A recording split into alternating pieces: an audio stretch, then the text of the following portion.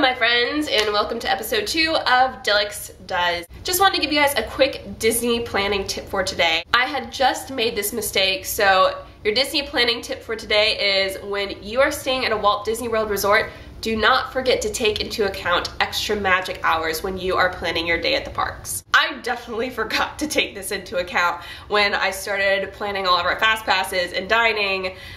Yeah, I, I screwed up. I went ahead and started planning all off of my emotions. We're gonna be there for five days, and of course in my mind I was like, we have to go to the Magic Kingdom sooner rather than later.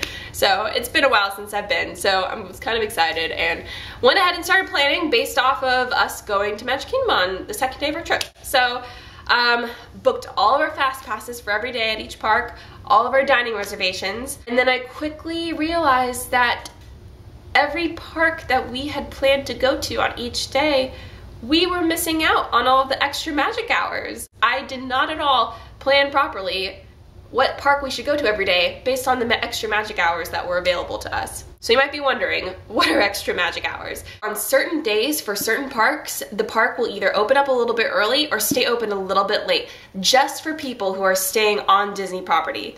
It's pretty awesome. So when I realized this, I thought we're only gonna be at the parks for five days. We really need to make sure we're gonna be taking advantage of those extra hours just so we can really get the most out of every day at the park. So I had to go back, cancel all of our reservations for dining, everything for fast passes canceled. Um, yeah, just have to pretty much start all over when it came to planning. So guys, your tip for today, don't be like Alex and forget about the extra magic hours when you are planning your Disney vacation.